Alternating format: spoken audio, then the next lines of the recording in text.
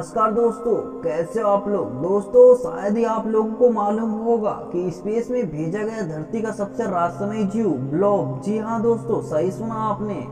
और साथ ही एरिया 51 इतना रहस्यमय और चर्चित क्यों है? आइए इस वीडियो के माध्यम से जानते हैं। एलियंस के होने पर लगातार यकीन और खोज करने वाले अमेरिका में साल 1950 में ही कहा जाने लगा कि एरिया 51 में एलियंस रहते हैं। इसकी वजह थी जहाँ काटीली बाड़ों के बीच रात बिरात उड़ने वाले विमानों की चमक दिखाई देना। जून उन्नीस सौ उनसठ में पहली बार ये बात मीडिया में आई कि नेवादा के आसपास के लोगों को हरी चमक के साथ कुछ रहस्यमयी चीज़ों को उड़ता देख चुके हैं। साल 2013 में CIA ने पहली बार स्वीकार की कि ऐसी कोई जगह है, लेकिन एलियंस के होने से इनकार करते हुए उसने बताया कि ये अमेरिकी एयरफोर्स बेस है। नेवादा में एक सूखी हुई झील पर बसा ये क्षेत्र चारों तरफ़ से बिजली के तारों वाली कटीली बाड़ों से घिरा है। सीमा पर जगह जगह चेतावनी लगी हुई है कि भीतर आने की कोशिश खतरनाक हो सकती है।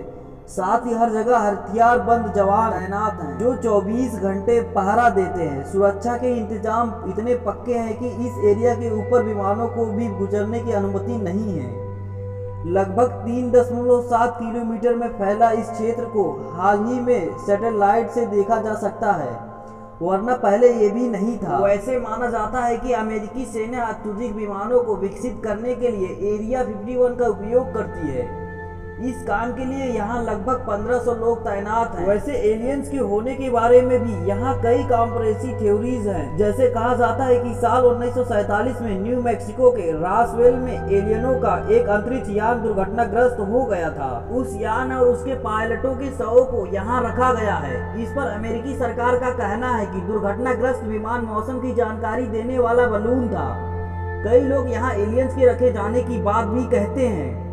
यहाँ तक कि साल उन्नीस सौ नवासी में रॉबर्ट लेजर नाम के एक व्यक्ति ने दावा किया था कि उसने एरिया 51 के अंदर एलियन तकनीकी पर काम किया है। जो भी हो, अभी तक एरिया 51 के रहस्यों को कोई सुलझा नहीं सका। स्पेस में भेजा गया धरती का सबसे रहस्यमय जीव ब्लॉक वैज्ञानिक कर रहे इस बात की खोज। स्लाइन गोल्ड पहली बार करीब 500 मिलियन साल पहले पृथ्वी पर देखा गया था। यह एक कोशिका से बना होता है, जिसमें कई नाभिक होते हैं। लंबे समय से वैज्ञानिक अंतरिक्ष में जीवन की खोज कर रहे हैं।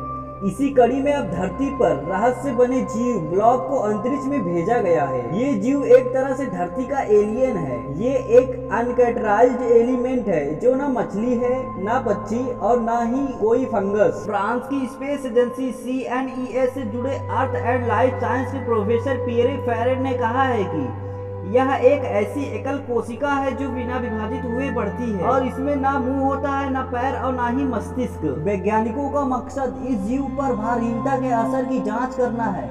फेरेड ने कहा है कि कोई नहीं जानता कि माइक्रो ग्रेविटी वातावरण में इस जीव का व्यवहार क्या होगा या किस दिशा की तरफ़ आगे बढ़ेगा। दोस्तों इसी के साथ वीडियो को समाप्त करते हैं और मिलते हैं नेक्स्ट वीडियो में। तब तक के लिए हँसते रहिए मुस्कुराते रहिए।